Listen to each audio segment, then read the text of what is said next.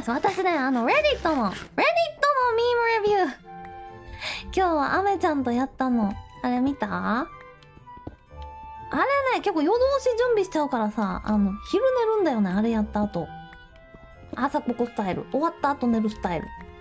だから変な時間に寝ちゃったからね、眠くないんですけど、あえてね、ちゃんと生活を整えるために、寝なきゃなって思ってるんですよ。面白かった？よかったですえ、アメちゃんと私シナジーやんじゃないの？どう？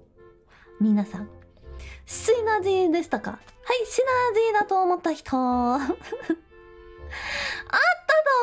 思うよねえ良いではないか、良いではないかシナジーだったよね。ね、ね。うんうんうん。早くね、たくさんコラボしたかったよ。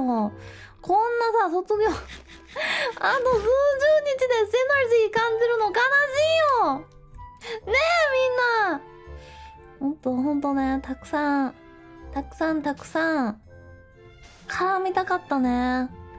本当に、悲しいなアメちゃんもね、